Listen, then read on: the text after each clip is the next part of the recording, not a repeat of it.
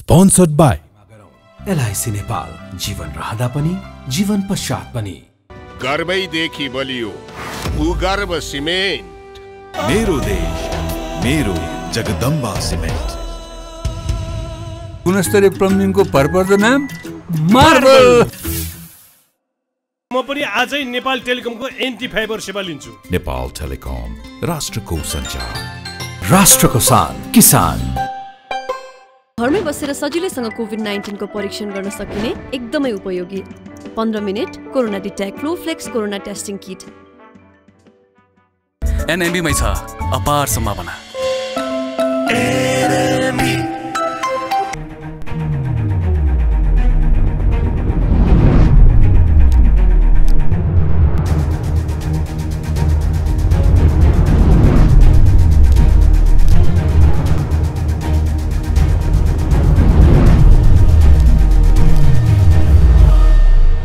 आज हामी Nepal red cross सोसाइटीको बारेमा चर्चा परिचर्चा र बहस गर्न चाहन्छौँ। जनताको आस्थाको केन्द्र धरको केन्द्र जनतालाई रगत नभइकन हुँदैन र जनताको लागि यतिखेर रेड क्रस सोसाइटीले किन काम गर्न सकेन? किन त्यहाँ भाँड भैलो छ? किन त्यहाँ अस्तव्यस्त छ? किन रेड क्रस सोसाइटी साँच्चीको विवादको घेरामा? जहिले पनि राजनीतिकरण किन हुन्छ? के कारणले? आजको कार्यक्रममा हामी यस बारेमा विशेषमा खुलासा गर्दैछौँ र अब सुधार्न के गर्नुपर्छ त? आज हामी यस बारेमा तपाईँहरूलाई ताजा सूचना दिन चाहन्छौँ अपडेट गराउन चाहन्छौँ र हाम्रो बिचमा तिनजना व्यक्ति त हुनुहुन्छ। अब म तिनैजनालाई कसरी सम्बोधन गरौँ? दुईजना अध्यक्ष एउटै संस्थामा हुनुहुन्छ। यहाँहरू तिनैजनालाई म कार्यक्रममा स्वागत गर्न चाहन्छु। अध्यक्षको रूपमा डाक्टर नेत्र प्रसाद तिमिसिनाजी तपाईँ अध्यक्ष हो नि होइन? हो एकदमै। अब म स्वागत गर्न चाहन्छु सुदर्शन प्रसाद नेपालजी। तपाईँ अध्यक्ष हो? साँच्चीकै हो? साँच्चैकै हो। त्यसपछि बसन्त कुमार श्रेष्ठजी तपाईँलाई पनि कार्यक्रम स्वागत गर्न चाहन्छु। तपाईँ वरिष्ठ सदस्य? म विशिष्ट सदस्य। विशिष्ट सदस्य। धेरै सदस्य विशिष्ट सदस्य। विशिष्ट सदस्य।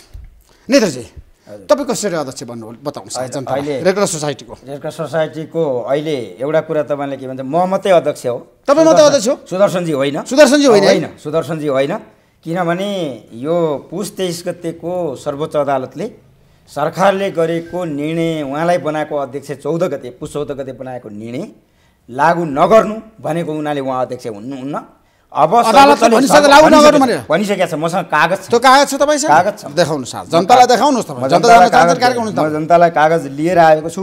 सबै कागजहरू तपाईँको मार्फतमा म यहाँ देखाउँछु। एकछिन मलाई यहाँ समय लाग्छ। सबै कुरा देखाउनुहोस् तपाईँ। वास्तविकता त्यहाँको। सबै कुरा भ्रष्टाचार अनियमितता समस्या जनताको पीडा। ए यो ईश्वर प्रसाद खतिवडाले।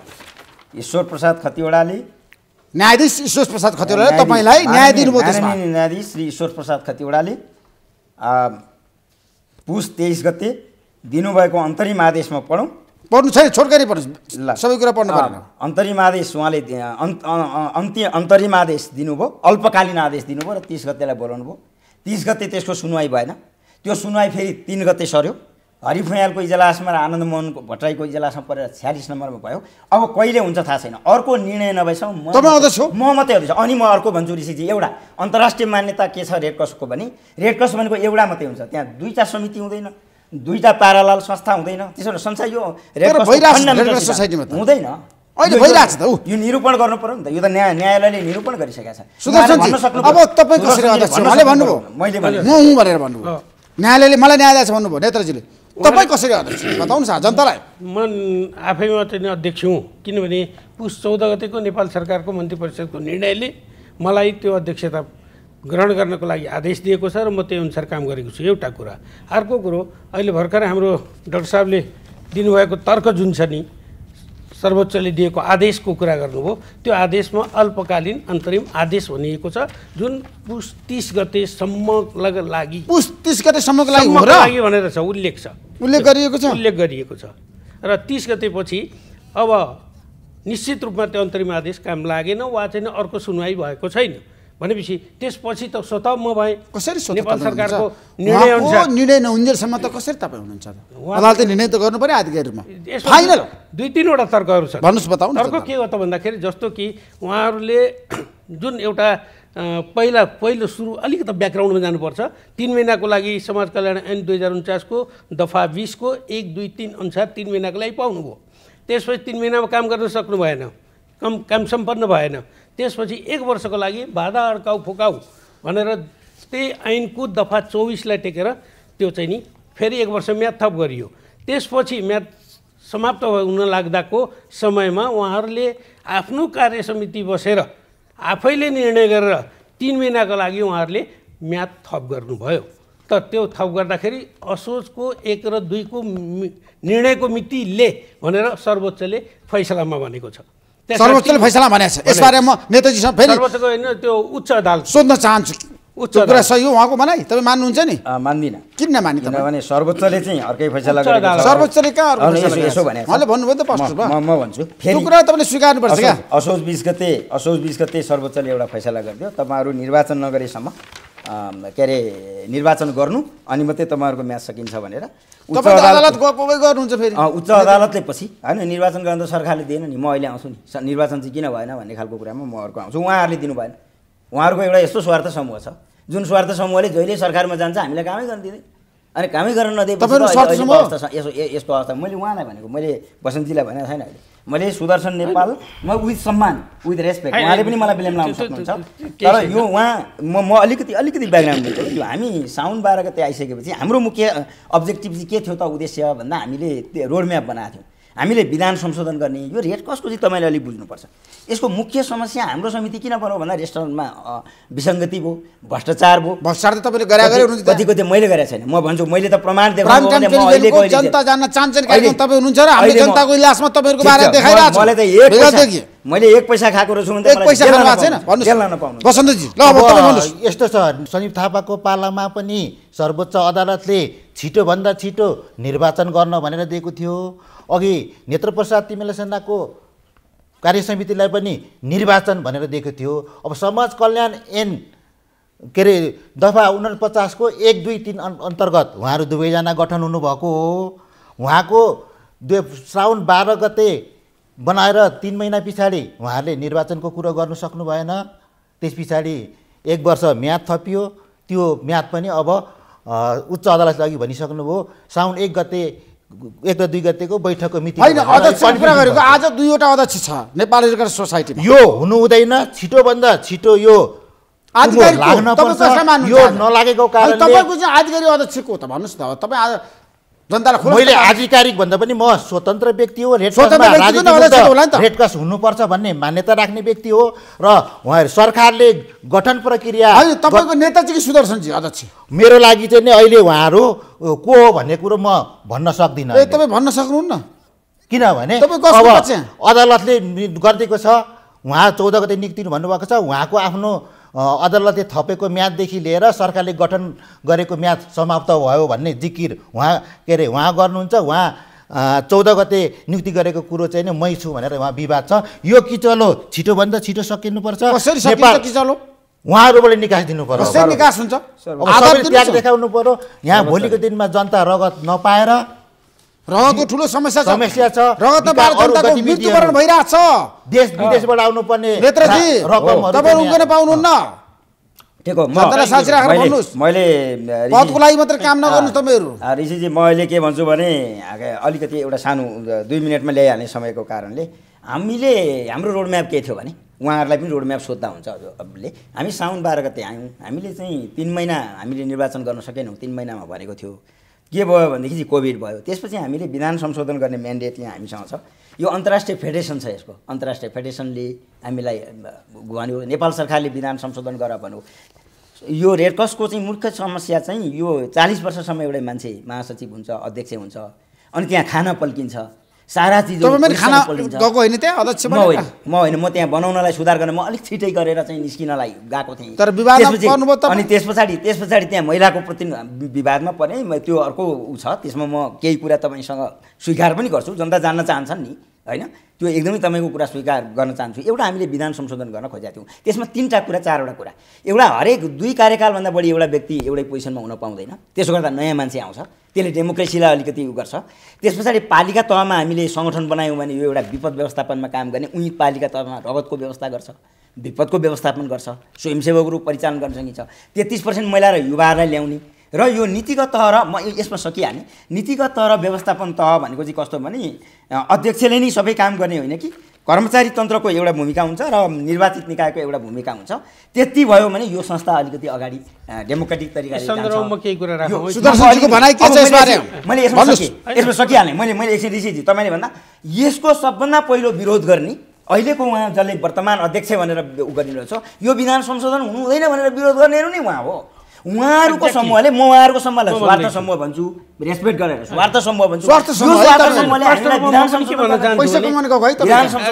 त्यस्तो होइन। स्वार्थ समूह। भन्नु उहाँको आफ्नो विचार होला। तर चाहिँ नि कुरो के भने म स्वार्थ समूहको व्यक्ति हुँ भने म त नेपाल रेड क्रसको उपाध्यक्ष निर्वाचित उपाध्यक्ष भइसकेको व्यक्तिले राजीनामा दिएर यस संस्थामा म त्यो तत्कालीन नेतृत्वको विरोध गर्दै राजीनामा दिएर उपाध्यक्ष पदबाट सदस्यमा झरेको व्यक्ति हो। र अहिले आएर म त्यत्तिकै स्वतन्त्र रूपमा थिएँ र उहाँले भने जस्तै अहिलेको परिस्थिति के हो त भन्दाखेरि उहाँहरू वैधानिक होइन। कसरी वैधानिक होइन? नेत्रजीले। अदालतको निर्णय गतेसम्मको लागि उहाँले अल्पकालीन पाउनु भएको हो एउटा कुरो। अर्को कुरो त्यसको फाइनल नहुनेसम्म त उहाँ नै हो नि त। फाइनल नहुँदाइलेसम्म फेरि उहाँहरूले। अर्को कारण छ। उहाँहरूले जुन म्याद थप गर्नुभएको छ तिन महिनाको भनेर त्यो महिनाको तिन गतेको हिसाब गर्दाखेरि पुस दुई गते भन्ने हाम्रो अर्थ हो। तर उहाँहरूको अर्थ चाहिँ नि होइन कार्तिक तिन गतेबाट माघ तिन गतेसम्मको लागि भन्ने उहाँहरूको तर्क थियो। माघ तिन गते पनि गयो पुस दुई गते पनि गयो र अन्तरिम आदेशले पनि अगाडि बढ्न सकेको अवस्था छैन। अहिले कोभिडको कारणले ती कुराहरू पनि आफ्नो ठाउँमा छन्। यसै कारण नेपाल सरकारले दिएको म्यान्डेट अनुसार त म नै अध्यक्ष हुँ भन्ने मलाई लाग्छ। मान्दिनँ। हुँदै होइन उहाँले त अदालतबाट। लेखेर ल्याए। मैले अदालतबाट लेखेर ल्याएको छु। ऋषिजी तपाईँ मान्नुहुन्छ नि? अदालतमा अहिले यस्ता कति केस छन्? के अरे गाविस अध्यक्षहरू चाहिँ यस्तै अन्तरिम अन्तरिमकालीन व्यवस्थाले छन् सांसद छन्। भनेपछि अर्को आदेश भएपछि त म छोडिहाल्छु नि। म लोभ गरेर म हो भन्दै भन्दिनँ। अर्को आदेश अदालतले आउँछ। त्यस दिन म मलाई जिताएन भने म आरामसँग छोड्छु। यहाँ यो तपाईँको पक्षमा। अदालत देखिएन यो त मान्नु रुल रुल ल्याउँछ। ल्याउँदैछ। तपाईँ ऋषिजी रुल अदालत। कन्भिन्स गर्दै हुनुहुन्छ खेलको एउटा अदालत नियम- प्रभाव पार्नु खोज्दैन खेलको एउटा नियम हुन्छ नि, खेलको नियम मान्नु पर्ने, उहाँको नयाँ तपाईँले नियम- राख्नु भएको छ मलाई। खेलको नियम र रुल्स अफ लको कुरा गर्नुहुन्छ उहाँले भने जस्तै अन्यथा नलियोस् उहाँले आफ्नै कोषाध्यक्षबाट एउटा चाहिँ नि उच्च अदालतमा एउटा निवेदन फिरात पत्र उहाँको नामबाट उहाँले सर्वोच्चमा फिरात पत्र राख्नुभयो। उच्च अदालतमा राखेको फिरात पत्रको सन्दर्भमा उहाँले जसलाई फिरात पत्र लेख्न लगाउनुभयो वा राख्नुभयो त्यसले मुद्दा फिर्ता लिनलाई दरखास्त दिइसकेको अवस्था छ एकातिर। एउटा व्यक्तिले भने अर्को एउटा व्यक्ति जसले अमुक व्यक्तिले मुद्दा दिएको थियो त्यसले पनि मुद्दा फिर्ता लिइसकेर त्यो चाहिँ नि खारेज गरिसकेको अवस्था छ। भनेपछि उहाँको त त्यहाँबाट पनि कन्डेम छ अदालतले भन्नु यो तपाईँले होइन। अदालतले। यसरी मैले जसरी। डकुमेन्ट छ। प्रमाण लिएर आउनुहोस् म त छोडिहाल्छु। देखाउनुहोस् प्रमाण प्रमाण देखाउनुहोस् प्रमाण लिएर जनतालाई आश्वस्त हामीसँग छ. जनतालाई आश्वस्त गर्ने आधार हामीसँग छ। र चाहिँ नि कृष्ण तपाईँसँग गोपाल के आधार छ लागेजुले- बताउनुहोस् ल। कृष्ण तपाईँ गोपाल अध्यक्ष भन्ने के लागेजुले आधार मुद्दा छ? फिर्ता लिएको डकुमेन्ट छ मसँग। होइन जहाँ जहाँबाट लिएर पनि सर्वोच्चको यहाँ छ सर्वोच्चको कीर्ति कुरा होइन। सही- कुरो हो यो। जनता जनता- जान्न चाहन्छन् भन्ने कुरा हो। कीर्ति कुरा नगर्नुहोस्। कीर्ति कुरा र भ्रमको सिर्जना गर्ने कुरा नि त। अरू त ठिक छ, अदालतमा गए पनि आफ्नो ठाउँमा छ। सर्वोच्चको कुरा गर्नुहोस्। होइन त्यस्तो कुरा सर्वोच्चको गर्नु हुँदैन। सकिएको दिन म त म तपाईँ जस्तो यो अब हामी। अब पर्दैन। नेत्र। पौष तिस गते सर्वोच्च अदालतले अ, आदेश दिएको कुरो पनि भनिदिनुहोस् यहाँ। किनभने त्यो कुरोमा पनि त्यहाँ अन्तरिम आदेश निरन्तरता हुनुपर्छ भन्ने एकापक्षको वकालत अर्कोले चाहिँ नि होइन। निरन्तरता नभनेपछि सकिन्छ भन्ने कुरा आयो मैले ऋषि सर एउटा मुख्य कुरो नेत्र सरको कार्य समितिले निर्वाचन गर्नुपर्ने कुराहरूमा चाहिँ नि कुरो गर्दाखेरि यहाँ चाहिँ नि मुख्य कुरो के छ भने कार्यदेश के हो भन्ने कुरोमा मैले दुई हजार सतहत्तर साल एघार कार्यदेश के हो? कार्यदेश संस्थाको नियमित कामकाज गर्ने त्यो नियमित कामकाजको साथसाथै निर्वाचन नभएसम्म एक वर्षभित्र निर्वाचन सम्पन्न गर्ने भनेर नेत्र सरको कार्य समितिलाई अधिकार दिएको हो। राजपत्रमा प्रकाशित भएर अब नियमित कामभित्र मैले चाहिँ त्यतिखेर के उठाएँ? म एउटा विशिष्ट सदस्य भएको हैसियतले नेपाल रेड क्रस सोसाइटी केन्द्रीय कार्य समितिले कार्यदेश विपरीत विधान संशोधन गर्नु हुँदैन। विधान संशोधन नीति कार्यप्रणाली निर्देशिकाहरू संशोधन गर्ने काम निर्वाचित कार्य समितिले गर्छ भनेर मैले यो एक वर्षदेखि उठान गरिरहेको कुराहरूमा उहाँले आजको। दिनमा छ नि। सत्य लिएर है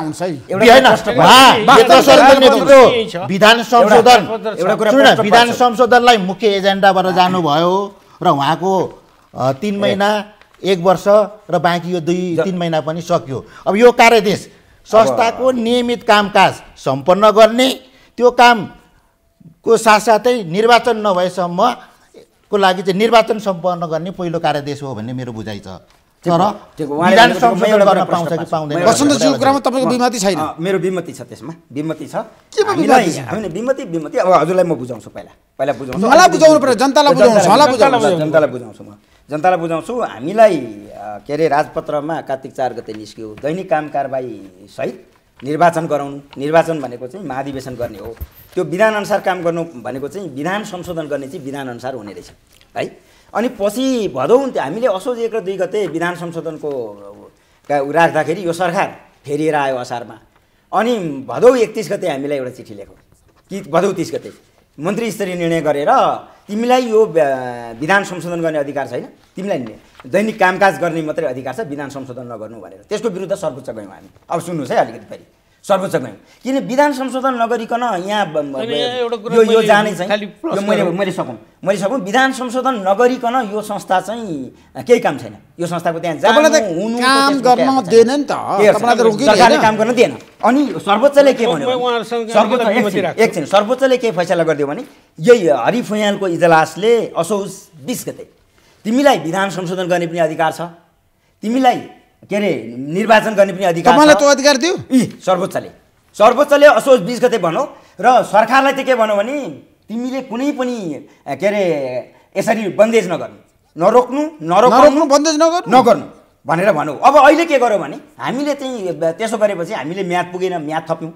हामीलाई उच्च अदालतले म्यान्डेट दियो म्याद थपेर गयौँ। म्याद थपेर गइसकेपछि हामीले कार्तिक सत्र गते विधान अधिवेशन राख्ने के सरी मङ्सी के अरे पुस सत्र गते अनि उन्तिस र तिस गते महाधिवेशन गर्नेहरूको चौध गते हटायो। यदि सरकार त्यो जम्मा पन्ध्र दिनमा हामी महाधिवेशन गर्दैछौँ भने उहाँहरूलाई तिन महिना किन ल्याएको? आफ्ना मान्छे उहाँहरू फेरि कस्तो समिति भने त्यो विघटित समितिको बहुमत हुनुहुन्छ। विघटित समितिमा उहाँ उपाध्यक्ष हुनुहुन्थ्यो जुन समितिलाई ब्लेम छ भ्रष्टाचारको ब्लेम छ पचासवटा चाहिँ मुद्दा छन्। आरोप हामीले लाग्नु- हामीले आरोप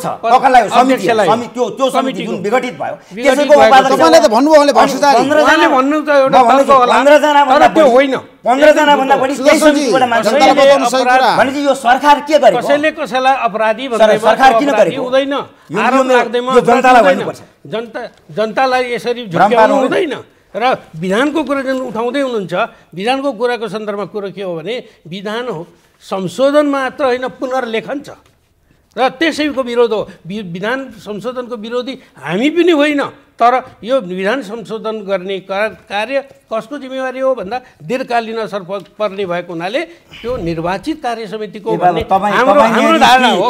हाम्रो धारणा? होइन ठिक छ ऋषिजी, भन्नुभयो। जनतालाई साँचो भन्न दिनुपर्छ? साँचो। तपाईँ न्यायाधीश न्यायाधीशले भनिसक्यो राजपत्र के झुटो हो त। त्यो त्यही राजपत्रको आधारमा भन्यो। प्राध्यापक भएर प्राध्यापक र डाक्टरको कुरा त। यसैमा यसैको आधारमा हामीले यही तपाईँको पेश त गरेर अब चाहिँ कुरै यो छोडिदिउँ न अब तपाईँले कति तपाईँ झगडा गर्ने कुरा होइन यो भ्रम सिर्जना तपाईँ नगर्नु। भ्रम सिर्जना- तपाईँ त भ्रम फर्स्टदेखि सिर्जना- विधान संशोधनै गर्नु हुँदैन। हुँदैन मैले के भ- भनेकै हो। हो। तपाईँलाई भुटानमा उहाँ- उहाँ त गर्दा पनि मान्छे मैले नयाँ भनेको, मान्छे यो ल्याउने चाहिँ तपाईँको पक्षमा हुनु- मेन्डेटभित्र पर्दैन समावेशी बनाउने पक्षमा हुनु न भनेपछि यस्तो समिति अहिले आएर कसरी काम गर्छ? तर सरकारले उहाँलाई बनाए नि त। सरकारले सरकार त्यही भएर हामी अदालत गयौँ र ईश्वर खतेडाले स्टे गरिदिनु भयो त। सरकारले गरेको कुरो तपाईँले मान्नु पर्यो नि। मान्दिनँ। म मलाई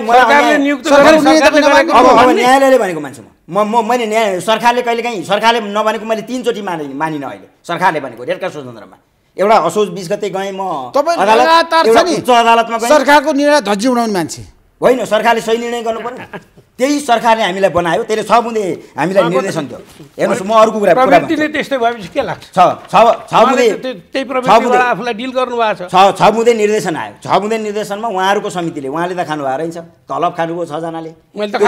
त्यो तलब तर। त्यो समितिको पद छोड्ने मान्छे होइन त्यो तलब छोड्छ? मान्छे। टाँसिएर बस्ने पनि होइन। त्यो तलब पनि होइन। उहाँकै त्यसै मन परि बोल्न त पाइँदैन नि। उहाँकै नेतृत्वमा अहिले पन्ध्रजना त्यही त्यही विघटित संस्थाका मान्छेहरूले आए। के हो यो अनि विधान संशोधन गर्न दिँदैन स्वच्छ त्यही। समितिले त्यही समितिले भनेपछि यसमा। नेपाल रेड क्रस सोसाइटीकोमा उहाँहरूको र अहिले सरकारले जुन हस्तक्षेप गर्यो सरकारले हस्तक्षेप गर्न भएन सरकार त न्युट्रल हुनु पर्यो अनि हामीलाई पन्ध्र दिनमा निर्वाचन गरेर जा जाने कुरा हो भने त अनि तिन महिनामा अर्को समिति किन ल्याउनु पर्यो यदि यो मानवीय संस्थामा किन हस्तक्षेप गर्नु पर्यो तपाईँ कहाँ हुनुहुन्छ दुवैजना कुरा सुनिसकेपछि तपाईँको मैले तर्क के सुने छ? मैले नेपाल। नेपाल रेड क्रस सोसाइटीको यो विधान सत्रौँ पटक संशोधन भइसक्यो अठारौँको लागि चाहिँ नै उहाँले अहिले यो प्रयास गरेर तयार गर्नुभएको छ। नेपाल रेड क्रस सोसाइटीको विधानमा केन्द्रीय तदर्थ समितिको परिकल्पना गरेका छैन। गरेको छैन? छैन। नेत्र प्रसादजीलाई अधिकार दिएको छैन? सरकारले त्यतिखेर सञ्जीव थापाको नेतृत्वको पार्लामा विघटन गरेर अब के विश्वकेशर मास्केलाई बनायो। विशेष केशर मास्के पहिला लाई तेह्र दिनमै पनि फेरि सञ्जीव थापा अदालत गएर चाहिँ। तेह्र दिनमै नै स्टे अर्डरबाट फेरि उहाँ त्यो नेतृत्वमा उहाँ पनि हुनुहुन्थ्यो उहाँ आउनुभयो। उहाँको नेतृत्वलाई पनि के भनिएको छ भने निर्वाचन छिटोभन्दा छिटो गर्ने। तर आज दुई हजार पचहत्तर के अरे श्रावणदेखि के अरे असार मसादेखि गउँछ नवीकरण। भएको छैन सर यहाँ।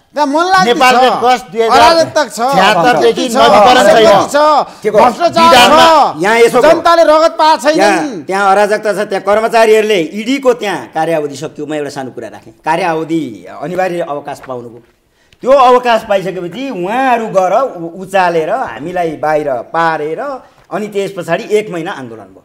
त्यो आन्दोलन अहिले अनि त्यस पछाडि उहाँहरू त्यो हामीलाई विघटन गर्यो। सो सो कल विघटन गरेर उहाँहरू आउनुभयो।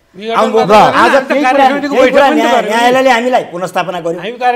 त्यसले गर्दा त्यहाँ त्यहाँ। किचलो मन- बनाउने त उहाँहरू हो। हामी त हामीलाई त यहाँ हेर्नु अब सुन्नुहोस् मैले फेरि भने हामी- हामीलाई त जिल्ला प्रशासन मैले दुई हजार। सतहत्तर एघार नौ गते लेखेको एउटा निवेदन नेपाल सरकार जेनेवा सबैतिर पठाएको छु।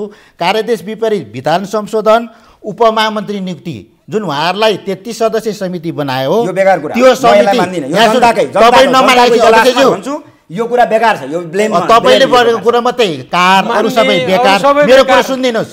उपमहामन्त्री। त्यो जनताले सुन्छन् ऋषिजीले सुन्नुहुन्छ उपमहामन्त्री नियुक्ति चाहिँ नि उहाँलाई मन्त्री परिषदले नियुक्ति गर्यो। त्यति सदस्य समितिमा एउटा पद उपमहामन्त्री खाली थियो। यो पनि उहाँहरूले आफ्नै कार्य समितिले नियुक्ति नियुक्ति गर्नु तपाईँहरू अदालत जानु। कर्मचारी अदालत जानु। तपाईँले सबैलाई अदालत जा भनेर अहिले। देशभरि नेपाल क्रसमा चाहिँ बिसौँ जिल्लामा अदालतबाट मुद्दा मामला छ। मान्छेलाई जे मन उहाँले विघटन गरेको जिल्ला उहाँले विघटन गरेको उहाँले विघटन गरेको अरूले गरेको बेठिक निर्वाचित भन्नु स- भएन। छ, सुन्नु सर। उहाँले निर्वाचित सरकारलाई चाहिँ कार्यसमितिले विघटन गरेको बिसवटा जिल्लामा चाहिँ नै अठारवटा जिल्ला चाहिँ नै पुनस्थापित भइसक्यो। त्यसलाई उहाँले के भन्नुहुन्छ? तपाईँहरू अनि राज्यमा हुनुहुन्छ। सुन्नु यहाँ, लोकतन्त्र कर्मचारी मान्नुहुन्छ सुन्नु यहाँ, विधि विधि सर। शासनको पक्षमा हो। विधि, म उठाउने अदालतको विधि। निर्णय आइसकेपछि तपाईँहरूले त मान्नु पर्यो नि त। समस्या अब त्यहाँ पनि छ। अदालतको आएपछि हामी मान्छौँ। अब उहाँको होइन कार्य त ल्याउनु भएको छ त मैले यहाँ आदेश। बोलेको छु। अदालतले त अन्तरिम आदेश दिएको तिस गतेसम्मलाई भनेको छ। तिस त्यस्तो गतिसम्म कुरा ल नेताजी। होइन। अर्को अर्को अर्को। काम चलाउ सरकारले रेड क्रसको विधान कर्मचारी नियमावली संशोधन। कुराहरू तर तिस गतेसम्म होइन अर्को तिस गते सुनवाई नभएपछि त अर्को सुनवाई हुनु पर्यो नि त। भन्नुहोस् त। त्यही त हो। अब आफूले उहाँले चाहिँ नि आफूले मिचेको कुरो चाहिँ नभए महामन्त्री नियुक्ति गर्ने कुरो यो वायात भन्नुहुन्छ। नेपाल विधान- सरकारले विधानअनुसार गरेछ सर त विधान छैन सर। यो यसको निरूपण ऋषिजीले गर्नुहुन्न जनताले पनि गर्दैछन् गर्न सक्दैनन् न्यायालयमा जानुपर्छ। जनताले सबै। कुरो न्यायालयमा न्यायिक निरूपणमा तपाईँहरूको। आडम्बर भइसक्यो। कर्मचारीहरूले तिन महिनासम्म कि तलब खानु पाएको छैन। रगतको थैली किन्ने अवस्थामा चाहिँ स्रोत चाहिँ नि आई बन्द भइसक्यो। निकास हुँदै- पाउनु पर्यो। तपाईँहरूको यो लुचाचुडीले चाहिँ रेड क्रसले बन्धक बन्ने हो। होइन। मेरो धारणा स्वतन्त्र रूपले। तपाईँले काम चलाउ सरकारले विधान पनि छुनु पाउँदैन कर्मचारी निवाली संशोधन पनि गर्न पाउँदैन कार्यकारी निर्देशक अनि धेरैलाई अवकाशको कुराहरू दिनुभयो। पदाधिकारी बैठक भन्ने रेड क्रसको विधानमा छँदै छैन उहाँले आउन बित्तिकै उनपचासजनाको सरुवा गर्नुभयो। त्यो कुरो पनि म एउटा स्वतन्त्र रेड क्रस सर्वे गर्न। नपाउने भने उनीहरूको उहाँहरूको यो एउटा कस्तो छ भने अलिकति कन्जर्भेटिभ। अब हामीले। परिवर्तन हुनुपर्छ भनेर। लागेको पहिलो व्यक्ति हो अनि परिवर्तनको कुरा गर्ने रूपान्तरको कुरा गर्ने मान्छेलाई भ्रम पार्ने अनि आफ्नो कुरा मात्र माथि लाद्न खोज्ने अनि आफ्नो नियम कानुन। जसरी चाहिँ उहाँको नेतृत्वमा के अरे विधिसङ्गत तरिकाले च्यालेन्ज। गर्नुपर्छ। गर्नुपर्छ। कर्मचारी उचालेर कर्मचारी आन्दोलन गरेर? तपाईँहरूले त भाषण गरेको मसँग भिडियो छ। देखाउँ। पेन ड्राइभमा पेन ड्राइभ बिर्सेछु मैले। तपाईँलाई बजाउन म दिन्छु भिडियो। उहाँले भाषण उहाँले भाषण गरेको। बन्द गरे रेड क्रस एक महिना बन्द भयो? एक महिना बन्द भयो। गाई जात्रा। हेर्नुहोस् गाई जात्रा, गाई जात्रा। गर्नुभयो, हामी हेरेर बस्छौँ। चाहन्छन् भन्ने यो यो मसँग भिडियो छ। त्यति- त्यति मात्रै होइन, सबैको एउटा मार्गदर्शक केन्द्रबिन्दु जुन छ त्यसमा यो कुरा गर्नै पर्छ। विधान। अधिवेशन राखेको गर्नलाई चाहिँ उहाँले खालि आफ्नो मात्र जिद्दी गरेर होइन हुँदैन। होइन अट्ठाइस एउटा भिडियो छ अट्ठाइस र उन्तिस गते विधान अधिवेशन राखेको कार्की पार्टी प्यालेसमा। उहाँहरूको नेतृत्वमा गएर सबै च्यातचुत गर्यो। पछाडि अगाडि पचास साठीजना गुन्डा पछाडि दुई सय पुलिस। हामीलाई कोठामा थुनियो। रेड क्रस यसरी चल्छ। परिवर्तन गर्ने मान्छेलाई उहाँले परिवर्तन गर्न भन्ने एउटै जनताले थाहा पाउनुपर्छ सरकारले थाहा पाउनुपर्छ सतहत्तर हामीले- जिल्लामा हाम्रो अन्तिम कुरा भन्छु म। हामी त विधान पठाउने चुनाव कहिले गर्नुहुन्छ अब निस्किने। हामीलाई त यो अदालतले जहिले भन्छ तैले गर्छौँ अब। अदालतले गर्छौँ। अदालतले चुनाव गर्न आएको होइन? हामी चुनाव गर्न आएको तपाईँलाई बालकृष्ण खानले अध्यक्ष बनाएको हो नि त। अब नेपाल सरकारको मन्त्री परिषदले बनाएको। व्यक्तिलाई म लिन गृहमन्त्रीको भूमिका छ। हुनसक्छ। हुनसक्छ। किनभने उहाँ त मेरो चाहिँ जिल्लाको नेता पनि हो। त्यस कारण पनि हुनसक्छ भन्नु गलत कुरा होइन तर बनाएको मन्त्री परिषदको निर्णय लियो अब सुन्नुहोस् है नेत्रजी सुदर्शनजी वसन्तजी हामी आज एउटा गम्भीर विषयवस्तुमा बहस गरिरहेछौँ। नेपाल रेड क्रस सोसाइटी भनेको करोडौँ जनताको आस्थाको केन्द्र हो। विश्वव्यापी रूपमा मान्यता पाएको संस्था हो। विश्वव्यापी। आज यो संस्थामा भाँड भैलो हेर्नुहोस् त मात्र गोल हेर्नुहोस् त। तपाईँलाई लाज लाग्नु पर्दैन। यसो म मलाई मैले प्रयत्न गरिराखेको छु। मलाई लाज केही छैन। यो एउटा सरकारले अहिले किन मेरो दुईवटा। कुरा दुईवटा कुरा सोध्न दिनुहोस् जनतासँग र सरकारसँग। सरकारले किन हस्तक्षेप गर्यो? हामीले पटक पटक गर्न खोज्दाखेरि पहिला काम गर्नु। भएन। चुनाव। किन- चुनाव गर्न दिएन। हामीले विधान अधिवेशन गर्ने भनौँ विधान अधिवेशन रोक्छ। समयमा हामी। अदालत अदालतले जो फेरि फेरि उहाँहरू भान्डा आउनुभयो। विधान अधिवेशन अठाइस र उन्तिस गते गर्ने भनेको उहाँहरू चाहिँ पुरै गर्दा उहाँहरूकै नेतृत्वमा गुन्डागर्दी गरेर विधान अधिवेशन भएन गुनागढी कसले गरे उहाँ उहाँहरूको भयो। भिडियो- छ। एउटा कुरा स्पष्ट भिडियो गरे छ स्पष्ट गुन्डागर्दी मात्रै छापामार शैलीमा। जाँदाखेरिको भिडियो हो साहब। यस्तो काम गर्ने? छापा प्रोफेसर जनताले बुझ्नुपर्छ, छापामार शैलीमा प्रोफेसर म तपाईँलाई? सबै भिडियो तपाईँ दिन्छु। प्रोफेसर यस्तो- साहब छापामार अनि शैलीमा रेड क्रसमा मानवीय संस्थामा त्यस्तो गर्न मिल्छ यो उहाँको तर्क हो मानौँ, तर्क उहाँलाई मैले के भन्छु भने म। उहाँलाई के अनुरोध पनि गर्छु मान्छु। प्रोफेसरको आचरण जस्तो तपाईँले गर्नुपर्छ। आचरण गर्नुपर्छ भने प्रोफेसरले प्रोफेसरको जस्तो हो तपाईँले पनि त्यही गर्नुपर्छ जनता जान्न चाहन्छन् भन्नेमा झुटो कुरा बोल्नु हुँदैन झुटो न, कुरा बोल्नु हुँदैन। नेतृत्व- म भन्दैछु। होइन मेरो नेतृत्वमा हो कि कसको गर नेतृत्वमा मान्छे भन्दा बनाउने पाँच सयजनालाई अहिले अब कुरा मेरो पनि मान्छे सुन्नुहोस्। चार सय मान्छे बाहिरबाट आएका छन् कहाँबाट आएका छन्? विधान अधिवेशन भएन। त्यहाँ कस्तो विधान संशोधन गर्नु भने उहाँहरू आउनुहुन्न दुई कार्यकाल हुन्छ। समावेशी बनाउनु पर्छ बाइस उहाँहरू त जिल्लालाई 40 वर्ष जब गइरहनु उहाँहरूले। विघटन गर्नुभयो। मुख्य मुख्य विघटन गरेको आक्रोश हो त्यो। त्यो कुराको महामन्त्रीले समेत पत्राचार गरेको समाज कल्याण मन्त्रालयले लेखेको पत्र छ। पत्र छ। पत्र छ यी। के लेखेको। छ पत्रमा? महामन्त्रीले यो कारणले त्यो भाड भैलो हुन गएको भनेर महामन्त्री छ। उहाँ- अब यति गाई जात्रा छ अब नेता। सरको नेतृत्व हुँदाखेरि पनि? महामन्त्रीले प्रेषित गरेको पत्र खारेज सम्बन्धमा भनेर उहाँ आफैले सही गर्नुभएको छ कति गते दुई हजार अठहत्तर सर एकछिन सुन्नुहोस् यहाँ सुन्नुहोस् अनि उहाँकै सहकर्मी। उहाँकै सहकर्मी महामन्त्री भनेको पिताम्बर अरियाल उहाँले के भन्नुहुन्छ? अध्यक्षबाट प्रेसित तदर्थ समिति गठन सम्बन्धी पत्र हाललाई कार्यान्वयन नगर्नुहोस् भन्छ। के यो उहाँहरूको आफ्नै समिति? तेत्तिसजनाको समितिमा संस्थामा नि छ। संस्थामा- यो संस्थामा बल यसो ऋषिजी संस्थामा बहुमत हुन्छ अल्पमत हुन्छ अनि बहुमत र अल्प- बहुमतको निर्णयले संस्था चल्छ। संस्थाको। बहुमतको उहाँकै संस्था। समितिमा त्यो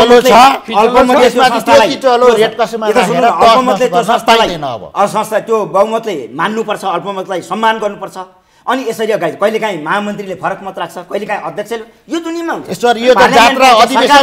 जिल्ला विघटन गरेको। फरकमा- हामीले हामीले जिल्ला विघटन बहुमतले गऱ्यौँ पछि महामन्त्रीको फरक मत रह्यो म प्रष्टै जनतालाई भनिहाल्छु महामन्त्रीको फरक मत रह्यो तर पछि अदालतले तिमीले जिल्ला विघटन गर्नु हुँदैन थियो चुनाव गर्नु पर्थ्यो। भनौँ। होइन जिल्ला विघटन मान्यौँ। नगरे भए हुन्थ्यो। जिल्ला विघटन पाँच समस्या आयो हामीले मान्यौँ नि समिति गठन गर्नु उहाँहरूले। त्यहाँ जिल्ला विघटन गर्नका दुई तिनवटा। कारण। तिनीहरूले गरेको सोसाइटीको जिल्लाको त महत्त्वपूर्ण भूमिका छ छ। छ। तिनीहरूको म्याच सकिएको थियो र उनीहरूले केन्द्रीय अहिले त कोरोनाको बेला छ। चाहिएको जनतालाई। बोल्न दिनुहुन्छ। अहिले उहाँहरू गर्न नदिने। पछि हामीले अदालतमा सकिएको पक्षधर चुनाव गर्ने उहाँ विधान संशोधन। अनि कसरी निकास विधान संशोधनको उहाँहरू पहिलेदेखि पक्षमा रहनु भएन। समस्या विधान संशोधनको चुनाव त भइहाल्थ्यो नि। विधान संशोधन भएपछि हाम्रो त्यो का त्यो हामीले कार्ययोजना पुरा गर्न अब। यहाँ गर्यो भने सत्तामा आउने पन्ध्र दिनमा हामी जाँदैछौँ सरकारले चौध गते चाहिँ किन विघटन गर्यो हाम्रो कमिटी। कमिटी विघटन गरेको? मानेछ भने हामीले मान्यौँ। चुनाव गराऊ लाज छैन अदालतले चुनाव गराऊ भनौँ चुनाव नलाग्ने? म्याच सकिएका त म्याच सकिएका जिल्ला थिए नैतिकताको आधारमा जिल्ला हामी। भ्रष्टाचार गरेको कमिटीबाट अध्यक्ष हुन आउँछु नि। तपाईँ। मैले त कुनै पनि हालतमा यो हामी। विरोध गरेर बसेका मान्छे हो। दिन हुनुहुन्छ हामी- कर्मचारी उचालेर मान्छेहरूलाई गरेर अनि अध्यक्ष भएर म त्यही नेतृत्वलाई सघाउ गराउने गरी बसेको भए गरेको मान्छे हुँ अनि दुई कार्यकाल हुनुपर्छ भन्दा विरोध गर्ने होइन दुई कार्यकालको गर्ने। विरोध गरेको छैन विधान। संशोधनको विरोध गर्ने विधान। संशोधनमा तपाईँ एउटा अभिष्ट इच्छा राखेर। अभिष्ट इच्छा। तदर्थ भएकोले मताधिकार पाउनुपर्छ मैले तपाईँ अध्यक्ष हुनुहोस् हुनु तर। अदालतले निरूपण गरिदियोस् तपाईँ अध्यक्ष हुनुहोस् म छोड्छु तर। तपाईँले तपाईँले म अध्यक्ष हो तपाईँ अनाधिकृत हुनुहुन्छ एकदम। म अहिले। म नेपाल अध्यक्ष हो। सरकारले अदालतले अदालतले निरूपण भएकै। नेपाल सरकारको निर्णयबाट हामी पनि भएको नेपाल सरकारको निर्णयबाट हो तपाईँको पदावधि सकिएको छ हाम्रो पदावधि सुरु भएको छ कुरो त्यति फरक त अदालत जानुहोस् न। अदालत? हामीलाई यहाँ ईश्वर प्रसाद साथीबाट फेरि सोध्नुहोस्। सोधौँ। मैले त यहाँ तपाईँसँग यो चाहिन्छ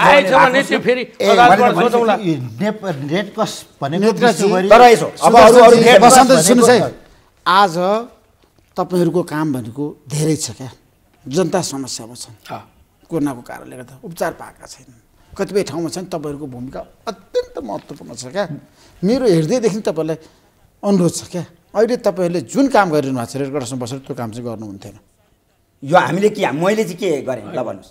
मैले गर्नु तपाईँले पद गरेँ? छोडिदिएको भए हुन्थ्यो नि त। कसरी मलाई? मलाई मलाई मलाई अपमानजनकले यत्र ऋषिजी तपाईँले कसैले अपमान गऱ्यो भने तपाईँ न्याय माग्न जानुहुन्छ कि जानु न मलाई मैले उन्तिस र तिस गते पुसको उन्तिस र तिस गते निर्वाचन गराउँछु भन्दा मलाई सरकारले चौध गते किन उ गरौँ उहाँले नि यो निर्वाचन गराउन दिउँ म निर्वाचनमा आउँछु भन्नु किन भन्नु भएन? किन तदर्थ समितिमा आउनुहोस्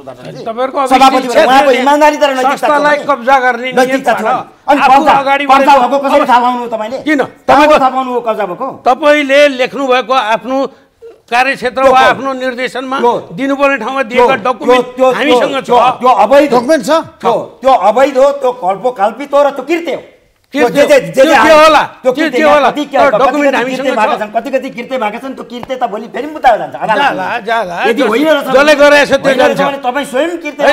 जसले त्यो जान्छ।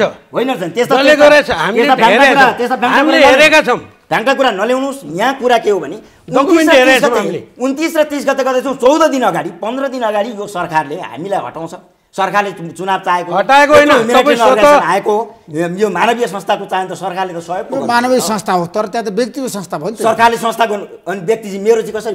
व्यक्तिको संस्था, पार्टीको कब्जा गर्ने म यो म यो। म यो यो यो चालिस वर्षसम्म राजनीति मुक्त क्रस चालिस वर्षसम्म एउटै मान्छे एउटै मान्छे राजनीतिकरण छ। पोलिटिकल पार्टी ल्याउने नियुक्ति गर्ने।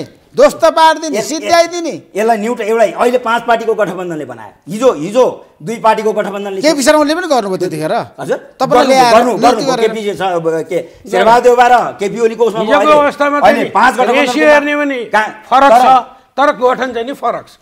तर दुई उहाँले भने जस्तै दुई पार्टीले को दुई पार्टीभित्र अरू सबै मिक्स छ काङ्ग्रेस एउटा छ। दुई पार्टीको हिसाबले छ अहिले विभाजन मलाई। बताउनुहोस्। यो निरूपण त यहाँ उहाँले गर्ने होइन नि त यो भ्रष्टाचार भएको छ भने तपाईँको दलिन हो। एकदम दलिल ए एकदम दलिल हो हामीले। चारवटा चारवटा चारवटा कुरा हामीलाई उसले सिडिओ कार्यालयले हामी गएपछि सिडिओ कार्यालयले सतहत्तर सालमा के अरे सतहत्तर सालमा गएपछि छ बुँदे निर्देशन थियो एउटा निर्देशन दियो के भने ब्लड ब्याङ्क छ नि यो मोडेल अस्पताल भएको त्यो ब्लड ब्याङ्क त्यो रेड क्रसको त्यो त्यो खरिद गर्दाखेरि त्यो टेन्डर प्रक्रियामा यहाँ गडबड भएको छ छ भनौँ। हामीले जाँच गऱ्यौँ। त्यो सिडिओ कार्यालयमा दिएको थियौँ त्यहाँ कैफियत देखिया छ। डबल बेसमेन्ट र सिङ्गल बेसमेन्टको टेन्डरिङ गरिदिएमा त्यहाँ सेटिङ भयो भन्ने छ। है त्यो छानबिन गरेर हामीले सिडिओ कार्यालयमा दियौँ। त्यस पछाडि सिआइबीमा दिएको छौँ त्यो मुद्दा छँदैछ एउटा। अर्को खानेपानीमा भयो भनौँ त्यो व्यापक रूपमा यहाँ मैले रिपोर्ट लिएर आएको छु आज। अनि अन्तर्राष्ट्रिय फेडरेसनले त्यसमा पनि यहाँ केही कैफियत भएको छ भनेर भनौँ भ्रष्टाचारको कुरामा। भएको छ। अन्तर्राष्ट्रिय फेडरेसनले है? अनि जग्गा किन्न म भन्दैछु त्यही कमिटीमा हुनुहुन्थ्यो उहाँ। त्यही कमिटीको। उपाध्यक्ष हो उहाँ। त्यही कमिटीको उपाध्यक्ष हो हो। त्यही कुरा भएको कारणले राजीनामा दिने मान्छे अनि हुन्। यता यता सुन्नु त्यो त्यही पनि कमिटीको- बुझ्नुहोस्। उहाँले सही छ उहाँको। त्यो निर्णयमा सही छ उहाँको। त्यस पछाडि उहाँले जग्गा खरिद बुझ्नुहोस्, गर्नु। हामी जग्गा खरिद राजीनामा गर्नु कसले जग्गा खरिद गरे? त्यो त्यो कमिटीले। पूर्वको उहाँको। उपाध्यक्ष भएको कमिटीले जग्गा खरिद गर्यो। जग्गा खरिद। गर्दा पाँचजना जग्गा कम छ अहिले पनि। अहिले पनि अहिले पाँचजना पनि जग्गा कम छ। त्यो जग्गा हामीले सिआइबीमा। सिआइबीमा हामीलाई थाहा भएन। हामीले हालेको छौँ। त्यो छैन। म भए त उहाँले अघि म भए आउँदैन थियो म भए त नैतिकताको हिसाबले अब रेड क्रसमा त कुनै हालतमा आउँदै आउँदैन थियो त्यो त्यो त्यसको यहाँले पत्ता लागेको कुरा होला। यहाँले यहाँले बिलमा साइन गरेर चाहिँ पैसा बुझेको भरमै अनि- पनि अनि उहाँले तलब खुवाउनु भएको छ। के अरे। गरेको अनि। अहिले उहाँ उहाँहरू त्यो कमिटीलाई त्यो कमिटीलाई दुईटा मुद्दा छन्। जिल्ला अदालतमा मुद्दा छ विचाराधीन मुद्दा छन्। त एउटा तलब खाएको पैसा हामी। गर्न खोजिरहेको छौँ ऋषिजी तर उहाँहरू गर्न दिनु न एउटा स्वार्थ समूह हो। उहाँलाई मात्रै नभनु एउटा यस्तो स्वार्थ समूह छ आठ दसजनाको। त्यसले होल यो सिङ्गो सतहत्तर जिल्लाको चाहिँ रेड क्रस चाहिँ बिगारेको छ। त्यो स्वार्थ समूहलाई सरकारले प्रोटेक्सन गरो। यो सरकारले किन यस्तो गरो? त्यो कहीँ सरकारले गर्न भएन। त्यो- स्वार्थ समूहको अहिले उहाँ नाइके भएर आउनुभयो अहिलेको म-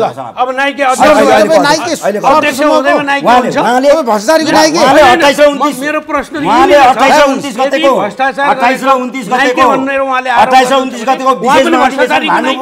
यस्ता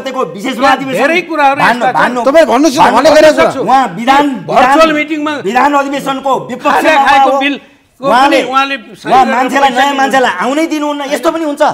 म यस्तो अहिले छोडिदिन्छु। मलाई अहिले छोडिदिन्छु तर म इमान्दारितापूर्वक मात्रै छोड्छु मैले। अदालतले अदालतले भनेका दिन भोलिपल्ट म अदालत यस्तो लुप म। अहिले आइरहनु। छोडिदिन्छु। तर अदालतले बोलेका दिन। हेर्नुहोस् किलो यहीँ तर सब कुछ भनेर सरकारका माने-।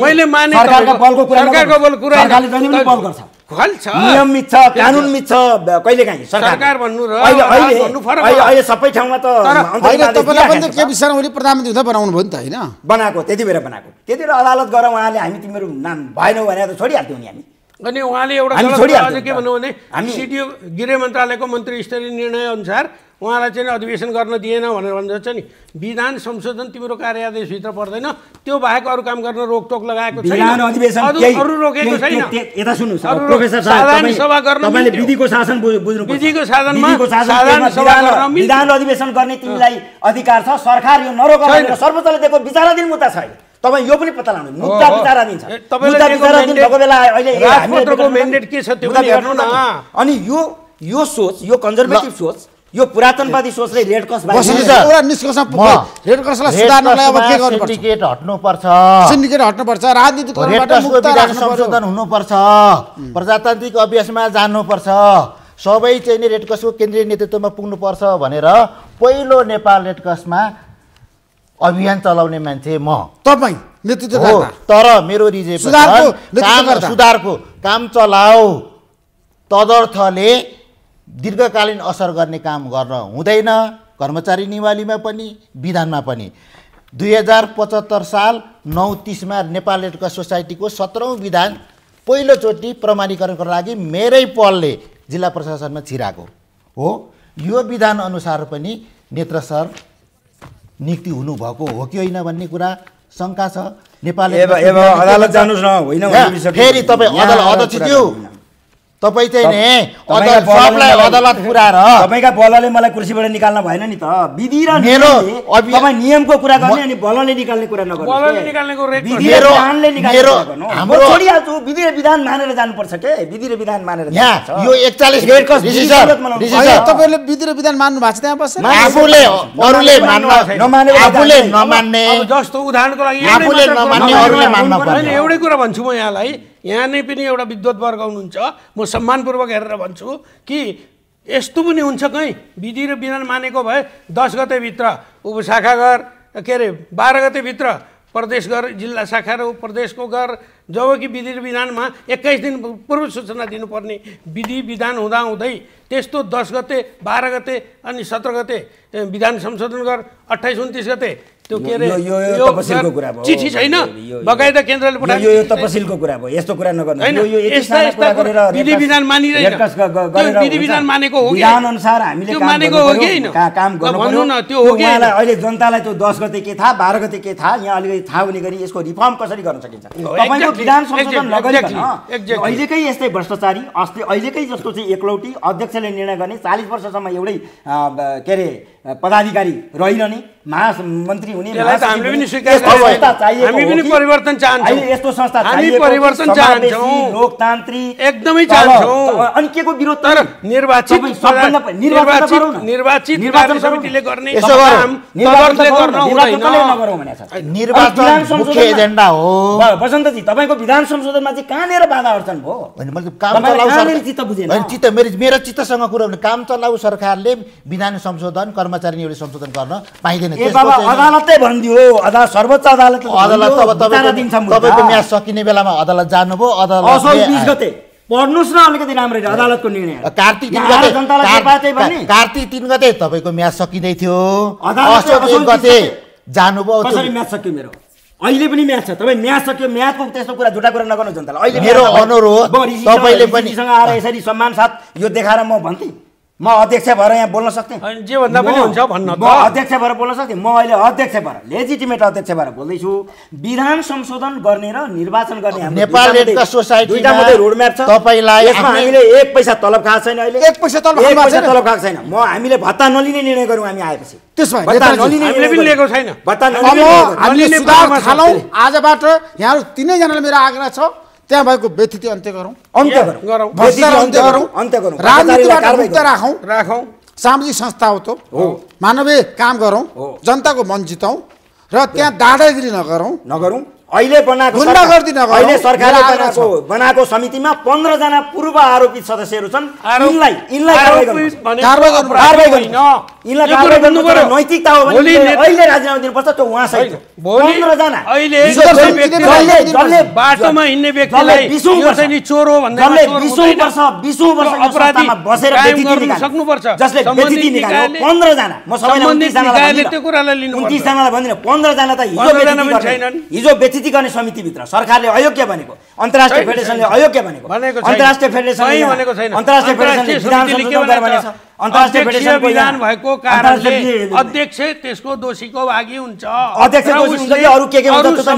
केन्द्रीय कार्य समिति कर्ता मात्रै हो भनेर सरकारले- जेनेवाले बनाएको त्यसले- त्यसले गर्दा CMC सरकार र- रिपोर्टमा लेखेको म। सरकारलाई हार्दिक अनुरोध के। गर्छु भने सरकारले यदि। यदि हामीले यो तपाईँलाई जनता चाहन्छन् म यही तपाईँको एकदम पपुलर टिभी मार्फत म सरकारलाई के भन्छु भने यदि हामीले मुद्दा जित्यौँ भने मुद्दा हार्यौँ सक्यो मुद्दा जित्यौँ भने। मुद्दा हार्यो भने हामी छोडिहाल्छौँ नि। विधिको शासनलाई आजबाट सुन्नुहोस् है नेत्रजी सुदर्शन सरकारले होइन विधान संशोधन निर्वाचन गर्नु गराउनु। निर्वाचन गराउनु तर मेरो भनाइ के छ भन्दाखेरि रगत चाहिँ अभाव नहोस् है। यो यो कुरा हामीले प्रतिबद्धता हाम्रो प्रतिबद्धता तपाईँको प्रतिबद्धता। हुनु पर्यो रगतको अभाव हुँदैन। तिनैजनालाई मेरो आग्रह ऋषिजी, छ। ऋषिजी मेरो कुरा सुन्नु म महत्त्वपूर्ण कुरा भन्छु। यदि हामीले मुद्दा जित्यौँ उहाँहरूले हामीलाई सहयोग गर्नुहुन्छ सरकारले गर्छ।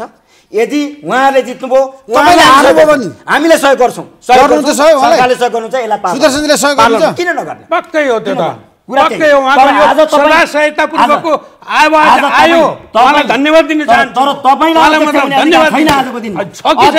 तपाईँले भन्न मिल्दैन तपाईँ? जस्तो मान्छेले त्यो तपाईँको म्यादै? सिद्धिएको मान्छेले बनाएको छैन हिजो भनेर-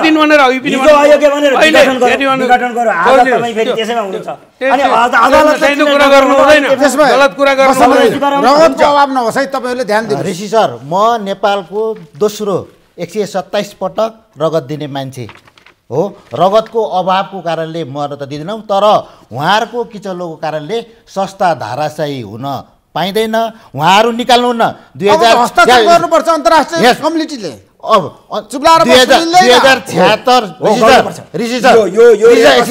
संस्था भनेको। यस्तै भयो भने। यस्तै भएर अन्तर्राष्ट्रिय क्षेत्रको पनि प्रवृत्ति यसो भयो भने- अपनत्व छ क्या? अन्तर्राष्ट्रिय क्षेत्रले विधान संशोधन गरेर यो फिर्ता गर्न। खोज्नुहुन्छ अन्तर्राष्ट्रिय संस्थाले विधान संशोधन गरेर भनेको छ उहाँहरू तपाईँलाई यो दुई हजार। छ्यात्तर असारदेखि नेपाल रेडक्रस नवीकरण छैन। यो यो यो राखी। अन्तर्राष्ट्रिय उसको रिपोर्ट। नवीकरण छैन। यो। नवीकरणतिर कसैको ध्यान नजाने। निर्वाचनतिर कसैको ध्यान नजाने अब सबैको ध्यान जाउँ विधान- निर्वाचनतिर निर्वाचन जानुपर्छ विधि र प्रक्रियातिर सबै मिलेर- संशोधन सरलाई के भन्छ यसले मात्रै चाहन्छु दुःख सबै गर्छ। मिलेर जाउँ। पनि बन्नै पर्छ रेड क्रस एक्ट नहुँदाको। बिथलो हो यो। यसमा यसमा सबै। ऐन। ठिक छ भन्नुभयो एक्ट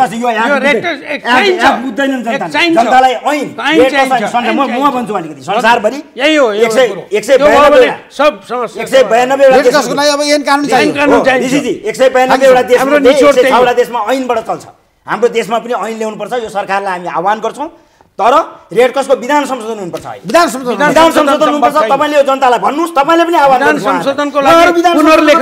मेरो त तपाईँ तिनैजना आग्रह छ त्यहाँ भ्रष्टाचार भएकोदेखि पनि म तपाईँलाई छोडिदिनु छोड- हामी- हुन्छ। त्यो- त्यो तपाईँलाई मात्रै होइन, एकदम सही तपाईँले कुरो। सुली चढाउनु, सही सुली कुरो। चढाउनु। भ्रष्टाचारीहरूलाई म। बाँकी राख्दिनँ हाम्रो पनि भनाइ त्यही छ। भ्रष्टाचारी अपराधीहरूको लागि कारवाही सामाजिक सेवा गर्नुहोस् काम गर्नुहोस् जनताको मन जित्नुहोस् एकदम हामी त्यही त्यो- चाहन्छौँ। जनतालाई रगत दिनुहोस्। हामी हामीले रगत पनि पाउने छन्। भ्रष्टाचार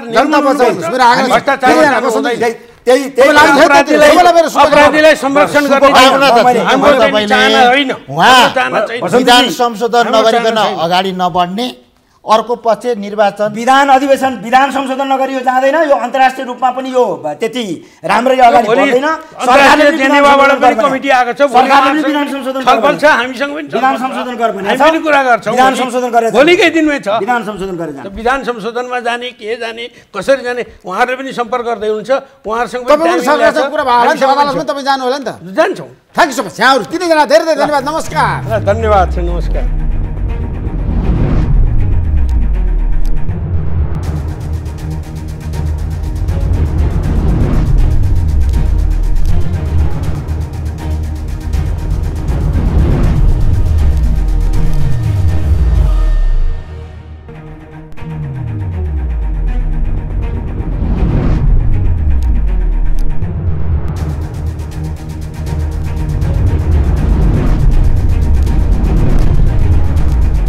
Sponsored by एलआइसी नेपाल जीवन रहँदा पनि जीवन पश्चात पनि गर्वैदेखि बलियो भूगर्भ सिमेन्ट मेरो देश मेरो जगदम्बा सिमेन्ट गुणस्तरीय प्लम्बिङको भरपर्दो नाम मार्बल